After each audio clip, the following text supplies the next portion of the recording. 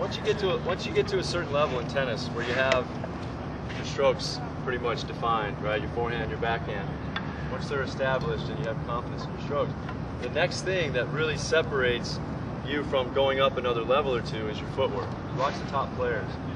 All the top players have the best footwork because they're able to get the ball in the strike zone more often than players that are that are weaker. And what ends up happening is you end up having to either hit shots that you're reaching for, or that you're jammed, or that are too low or too high. Ideally, if this is my my just like in baseball, right? You've got that little strike zone.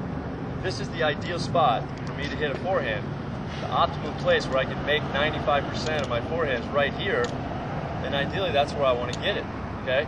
So what ends up happening, it's very apparent to me when I watch you guys hitting, that you're not you're not oscillating, you're not moving back for a deep ball, you're not moving forward for a short ball. So you watch the top players, and what they're doing, first of all, you to start a little bit behind the baseline, because you're always looking for any ball that comes deep. Okay, so the first thing that any, any player is doing is they're on the balls of their feet, right? They're bouncing, they're prepared, and what they're doing is basically like a split step, right? You've heard a split step when you come up to the net to volley, you split step. Uh, a soccer goalie, right? If a soccer goalie is waiting for a penalty kick, he's not standing like this, right? You imagine if uh, the goalie for Brazil in the World Cup was getting ready for a penalty kick and he's standing like this? You need to be standing like this. They're gonna be like, dude, give us your best effort. You know, you might have to dive way up high to the right corner, the left corner, down low.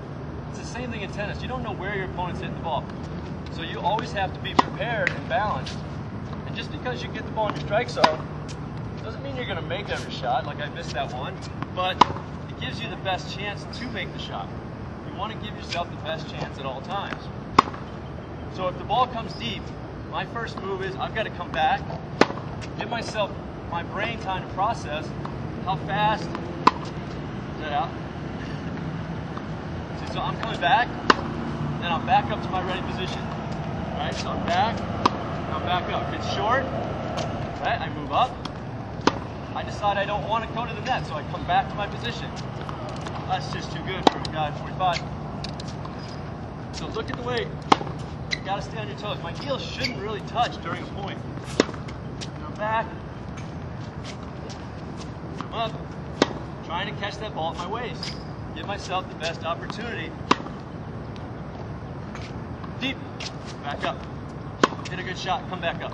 Then you get the short ball. Then you come in.